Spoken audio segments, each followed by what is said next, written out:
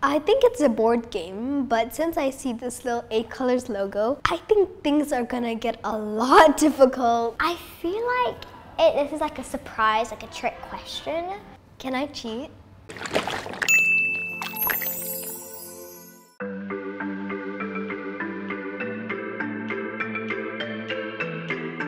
Um, a board game? I think it's a board game, but since I see this little eight colors logo, I think things are gonna get a lot difficult and very interesting here. Hey Google, roll the dice. You got six. One, two, three, four, five, six. It says Animal Kingdom. Which pink colored bird can stand on one leg? Hmm, a pink colored bird. Ostrich, swan, chicken, and flamingo. Chickens aren't pink, not swans either, or ostriches. So it has to be flamingos. Hey Google, which pink colored bird can stand on one leg?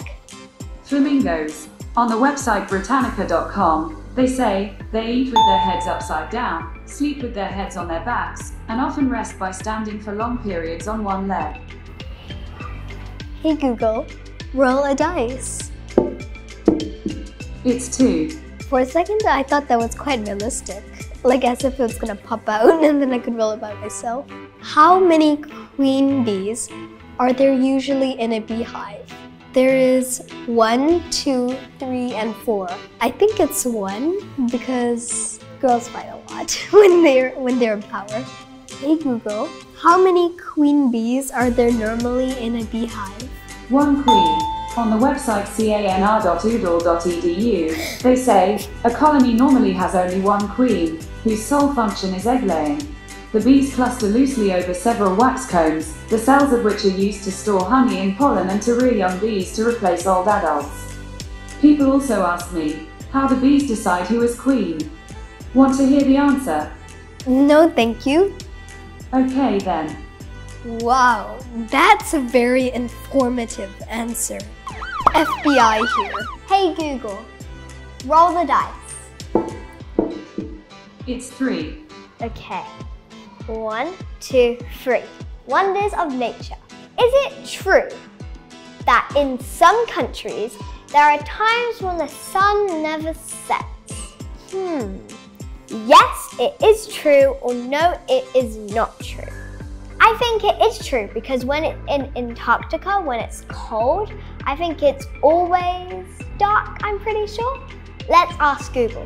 Hey Google, is it true that in some countries there are times where the sun never sets? Norway. On the website visitnorway.com, they say Svalbard is the place in Norway where the midnight sun occurs for the longest period. Here, the sun doesn't set between the 20th of April and the 22nd of August. People also ask me, in which country's sun never sets? Want to hear the answer? No, thank you. Alright, Yay, we got it correct. Hey Google, please roll a dice. you rolled four. One, two, three, four. The science lab. How many meters make up a kilometer? 10 meters, 100 meters, 500 meters, 1000 meters. So what do you think the answer is? Um, 1000? Hey Google, how many meters make up a kilometer? One kilometer is 1,000 meters. Hey. Hey Google, roll the dice. You roll two. One, two. Animal Kingdom. Are koalas bears? A. Koalas are the strongest bears. B. Koalas are the slowest bears. C. Koalas are the only bears that can climb trees. And D. Koalas are not bears. Hmm. I think koalas are bears because I always hear everyone going, Look, it's a koala bear. Let's ask Google. Hey Google, are koalas bears? On the website wwf.org.au, they say koalas aren't bears, they're marsupials. While they might look bear-like with their round ears and big black nose, they actually share more characteristics with other marsupials like the wombat. People also sometimes ask me, why is koala not a bear? Do you want to hear the answer? No, thank you. Alright. Oh no, I should have known that as a fellow Australian. Hey Google, please roll a dice. It's 3. One, two, three. Wonders of nature. What is deforestation? A. Deforestation is a destruction of forests due to human activities. B. Deforestation is a natural life cycle of trees and forests. Deforestation is the conservation of animal habits. D. Deforestation is the rapid rise of sea levels. I think it's A because D means basically negative and I don't think it has anything to do with the sea levels. Hey Google, what is deforestation? According to Wikipedia, Oh, sure. deforestation or forest clearance is the removal of a forest or stand of trees from land that is then converted to non-forest use. Hey Google, roll the dice. It's 5. One, two, three, four, five. Wonders of nature. Can anything live under the deepest part of the ocean where there is no sunlight? A. Yes, there are things living in the deepest parts of the ocean. And B. No, nothing can survive in the deepest parts of the ocean. Hmm. I remember there is this fish called a blobfish, and it lives at the very bottom of the ocean. Let's ask Google. Hey Google, can anything live under the deepest parts of the ocean where there is no sunlight? On the website amnh.org, they say, obviously, organisms who live at the deep sea vents can't rely on the sun. Instead, many of them rely on the chemicals that come out of the vents. The process they use to create food is called chemosynthesis instead of photosynthesis. People also ask me, can anything survive in the deepest part of the ocean? Want to hear the answer? No, thank you. Hey Google, please roll the dice. You got 2. One, two. Animal Kingdom. Are walruses bigger than sea lions? How am I supposed to know? A. Walruses are bigger. B. Sea lions are bigger.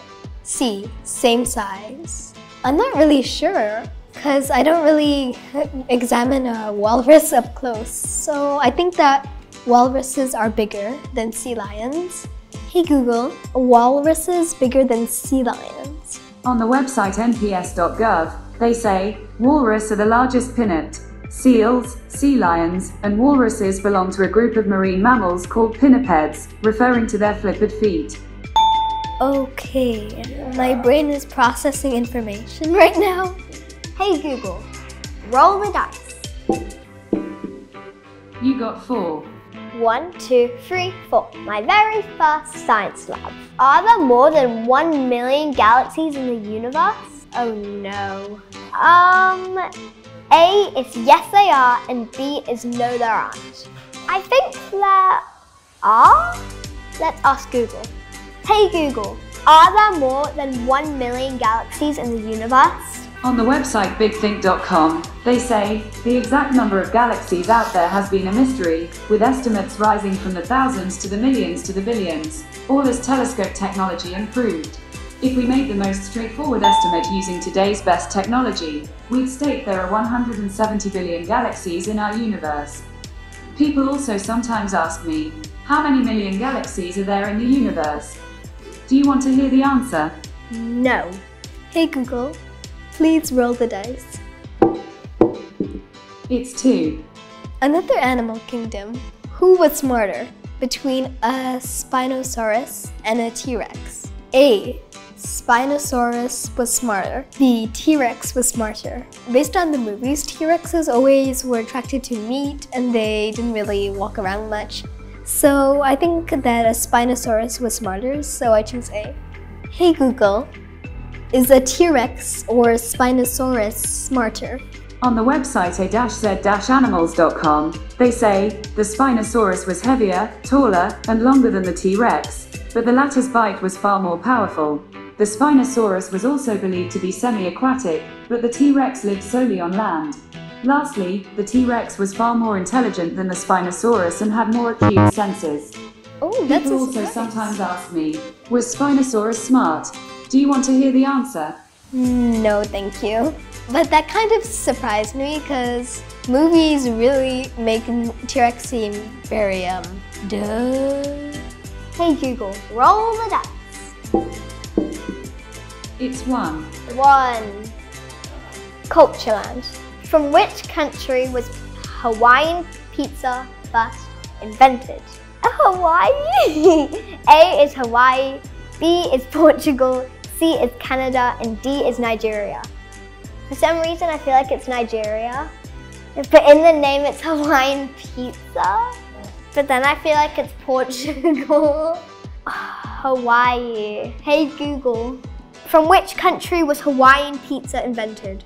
Canada. On the website gosney.com, they say, well, to answer your question, Oh his name is Sam Panopoulos, a Greek immigrant who moved to Canada in 1954. He created the first Hawaiian pizza at his restaurant, Satellite, located in Chatham, Canada. Like the whole I also found an answer to this question. Why is Hawaiian pizza called Hawaiian? Do you want to hear it? No, thank you. You are, as always, very welcome. So nice. Hey Google, please roll the dice. You got five.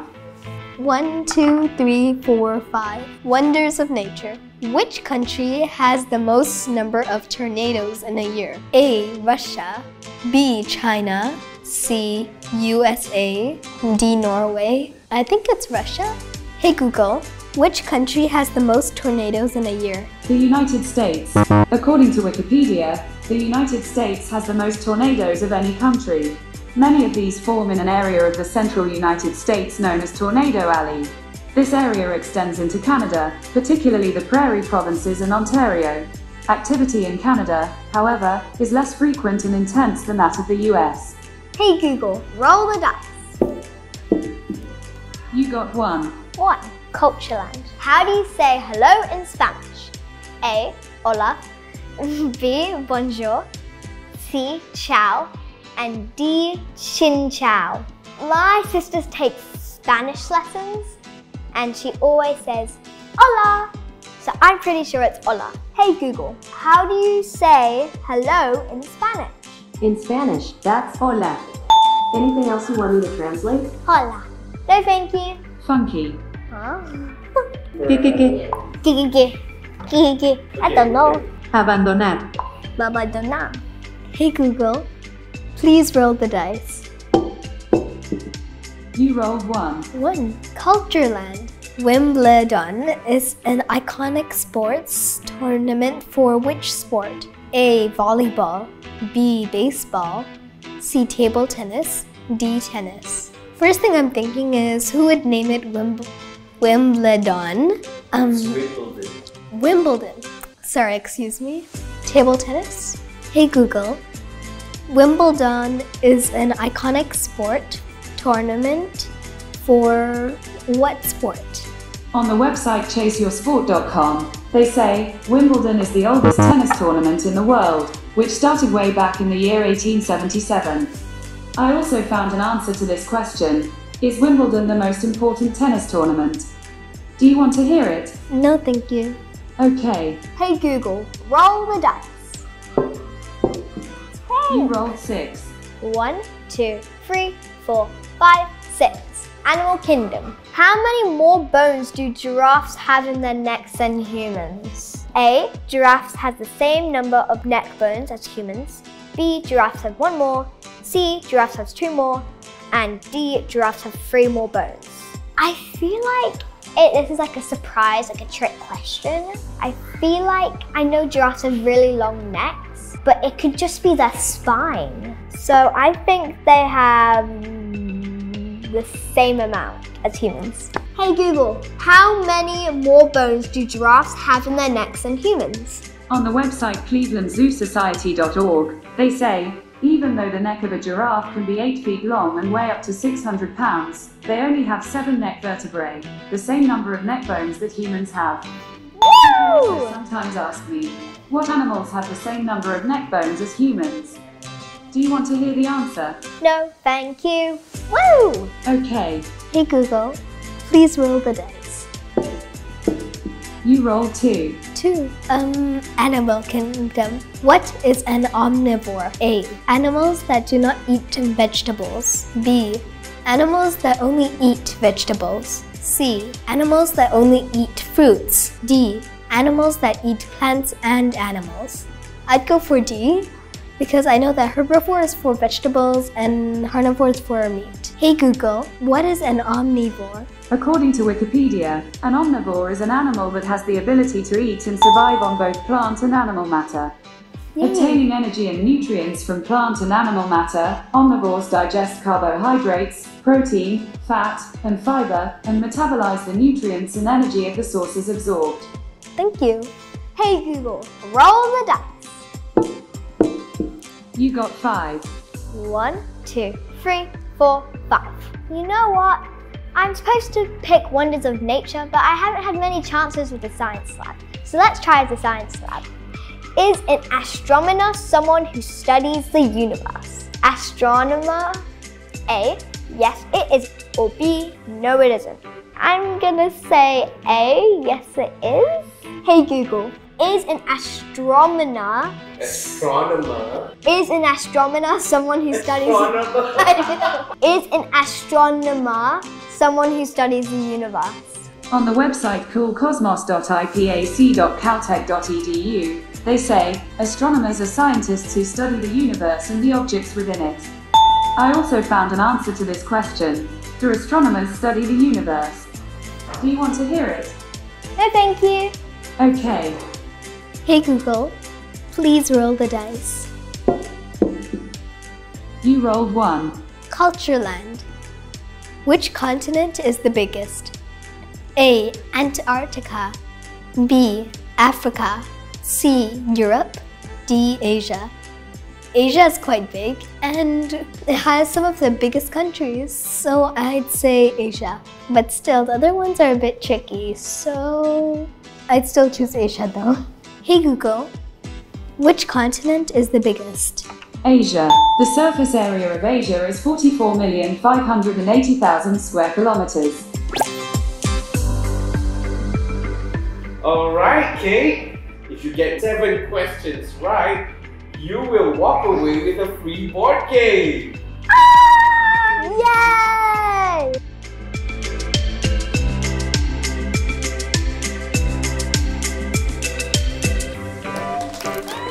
There's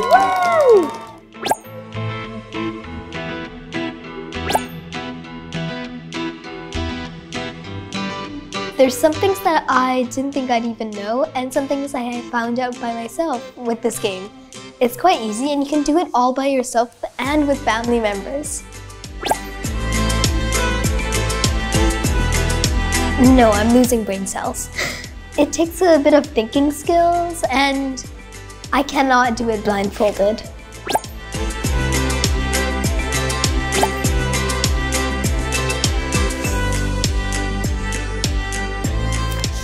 I'm very proud and I would love to say thank you to my my parents for supporting me through this um, really hard time and I'm very proud to be here today.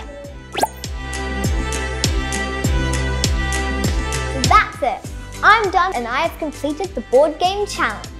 If you guys want your very own 8 colored smart board game, then go over to their website so you can get one. Or visit that YouTube to see the tutorial on how to play the game properly. Remember, don't cheat. Don't forget to create, celebrate, and stay great. Bye!